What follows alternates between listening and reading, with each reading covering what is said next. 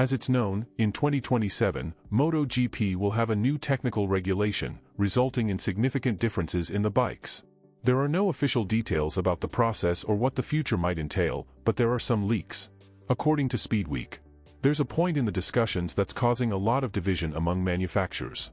This concerns the freezing of development in other words limiting or suspending the development of the bikes from a certain point onwards. A similar situation will already occur in 2025 and 2026, as the tentative agreement for the new regulations presupposes a halt in the development of the bikes in the two preceding years. However, not everyone is pleased with this.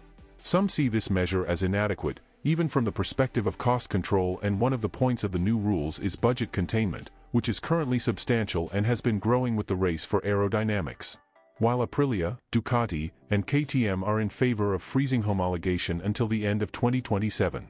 Honda and Yamaha disagree which is understandable, considering the current competitive situation the Japanese manufacturers are facing. And subsequently, Aprilia may have changed its position, considering that it's inevitable to develop the bikes in 2025 and 26.